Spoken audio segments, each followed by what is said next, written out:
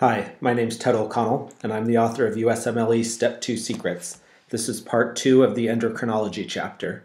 We'd like to invite you to visit medicalschoolvideos.com for additional educational videos and email us your thoughts and ideas at step2secrets at gmail.com.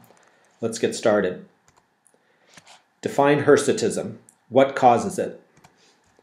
Hirsutism is a male hair growth pattern in women or prepubescent children.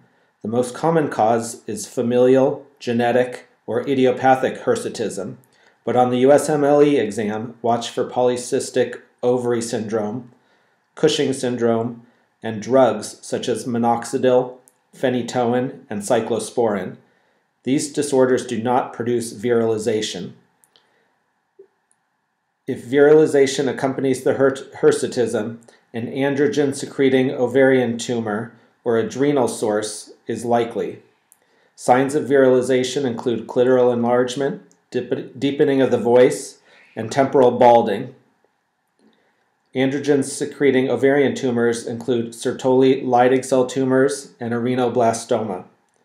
And the adrenal sources include congenital adrenal hyperplasia, Cushing syndrome, or adrenal tumor. What causes virilization in children? In female neonates, congenital adrenal hyperplasia is a likely cause of virilization. The classic example is a female infant born with ambiguous genitalia. However, the patient may also be a male child with precocious puberty. At least 90% of cases are caused by 21 hydroxylase deficiency. Because 21 hydroxylase is involved in the production of both aldosterone and cortisol, children develop signs of hypoadrenalism with salt wasting, hypotension, hyperkalemia, hyponatremia, hypoglycemia, acidosis, and nausea and vomiting. Abnormally high levels of serum 17 hydroxyprogesterone or urinary 17 ketosteroids, which include dehydroepiandrosterone or DHEA, DHEA sulfate, and androsterone, along with decreased free cortisol in the serum, clinch the diagnosis. Give corticosteroids to prevent death. In older children, worry about a testosterone secreting gonadal neoplasm. What are the symptoms and signs of hyperparathyroidism? The same as those for hypercalcemia, which includes the so called bones, stones, groans, and psychiatric overtones. In other words, bone resorption with osteomalacia and osteitis fibrosa cystica, kidney stones, abdominal pain secondary to nausea and vomiting, ileus, nephrolithiasis, peptic ulcer disease, constipation, or pancreatitis, which are all increased with hypercalcemia and also emotional lability, delirium, depression, and or psychosis. In primary cases of hyperparathyroidism, the serum calcium is high, phosphorus is normal to low, and parathyroid hormone, or PTH, is increased. In secondary cases, the calcium level is low. What causes hyperparathyroidism? 90% of primary cases are caused by a parathyroid adenoma, which can usually be confirmed with a nuclear medicine scan. Other causes include parathyroid hyperplasia and parathyroid carcinoma. Secondary cases include low calcium levels, such as from renal failure, to which an increase in PTH is a normal physiologic response. Tertiary hyperparathyroidism occurs when PTH has been elevated for too long, secondary to long-standing hypocalcemia. And PTH continues to be oversecreted even when the calcium is normalized with treatment. Translation, put all patients with renal failure on calcium supplements to prevent this complication. What are the signs and symptoms of hypoparathyroidism? The same as those for hypocalcemia, which include tetany, prolonged QT interval on the EKG, The calcium is low, the phosphorus is high, and the parathyroid hormone level is low. What causes hypoparathyroidism? The most common cause is accidental removal or damage during thyroid surgery. Watch for tetany after thyroid surgery. Rare causes are genetic. Watch for DiGeorge syndrome in children with the congenital absence of parathyroid glands, tetany in the first 48 hours of life, an absent thymus gland, immunodeficiency, cardiac anomalies, and midline facial defects. What are the symptoms and signs of hypercalcemia? We just mentioned these in discussing hyperparathyroidism, but the symptoms are the same bones, stones, groans, and psychiatric overtones. Signs included include a shortened QT interval on the EKG, weakness, polyuria, bone changes, and kidney stones on the radiographs, as well as renal failure. What causes hypercalcemia? In outpatients, the most common cause is hyperparathyroidism. In hospitalized patients, the most common cause is malignancy.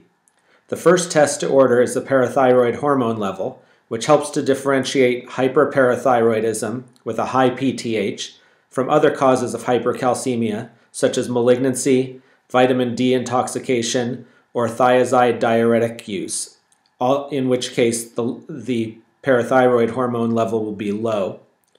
Multiple types of cancer can cause hypercalcemia, but the classic USMLE question involves either multiple myeloma or secretion of PTH like hormone by a squamous cell carcinoma, especially in the lung. Familial hypocalciuric hypercalcemia is characterized by hypercalcemia with low calcium levels in the urine, in contrast to other hypercalcemias. Other causes include vitamin A or D intoxication, sarcoidosis or other granulomatous diseases, and excessive calcium intake, as in milk alkali syndrome. What are the symptoms and signs of hypocalcemia? Symptoms include paresthesias, and the classic pattern is in perioral region or the distal extremities, and also muscle aches, dementia, depression, and psychosis. Signs of hypocalcemia include prolonged QT interval on the EKG, tetany, Chvostek sign, which is tetany elicited by tapping on the facial nerve to cause facial muscle contraction, Trousseau sign, which is carpopedal spasm caused by inflation of a blood pressure cuff or application of a tourniquet, dementia, depression, psychosis, seizures, and papilledema. What causes hypocalcemia?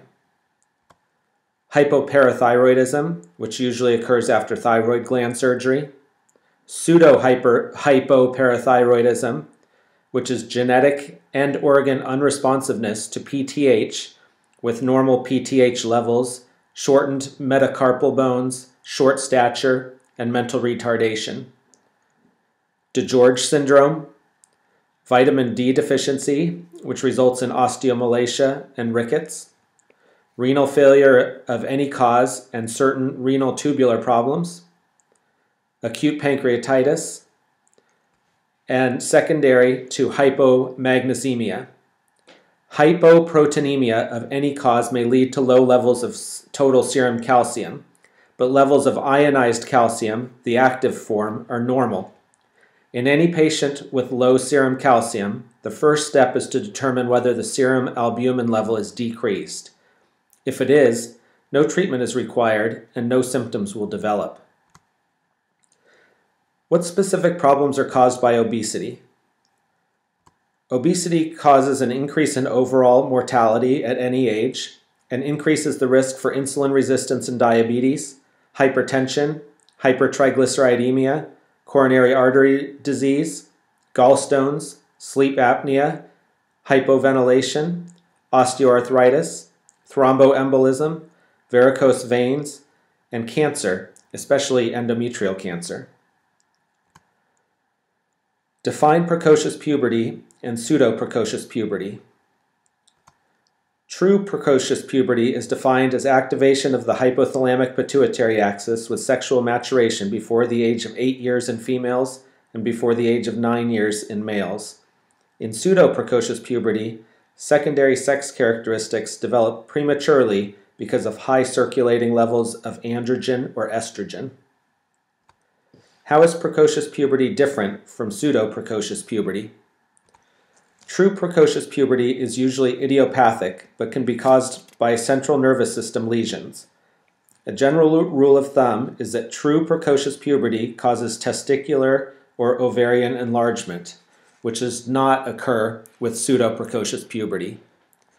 Ovarian cysts are not considered true ovarian enlargement.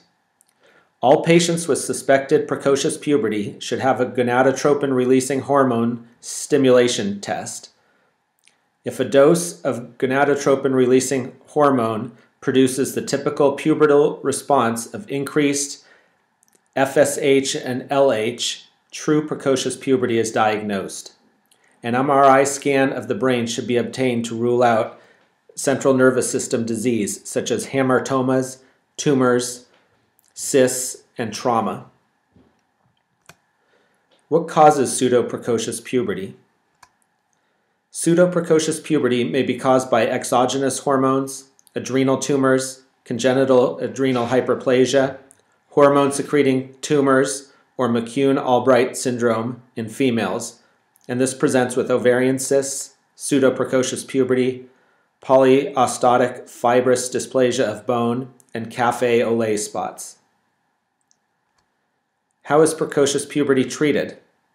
Because premature puberty causes premature fusion of growth plates in the bone and can cause serious social problems for affected children, treatment is indicated. Treatment of any underlying disorders is indicated for pseudoprecocious puberty. For true idiopathic precocious puberty, treatment with long acting gonadotropin releasing hormone agonists is indicated to suppress the pituitary hypothalamic axis and to delay the onset of puberty until an appropriate age. That's the end of uh, part two of the endocrinology chapter. Please join us next time for part three of the endocrinology chapter.